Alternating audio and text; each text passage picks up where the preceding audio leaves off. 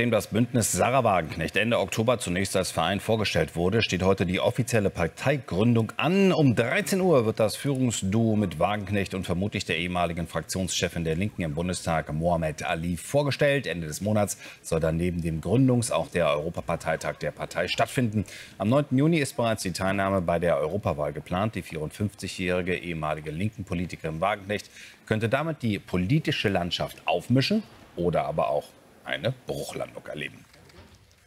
Noch mehr News, die gibt es bei unserem Nachrichtensender Welt. Einfach den Sendersuchlauf bei eurem Fernseher starten. Die Anleitung dazu, die findet ihr hier. Und wenn ihr spannende Dokus sehen wollt, packende Reportagen, dann müsst ihr einmal hier klicken.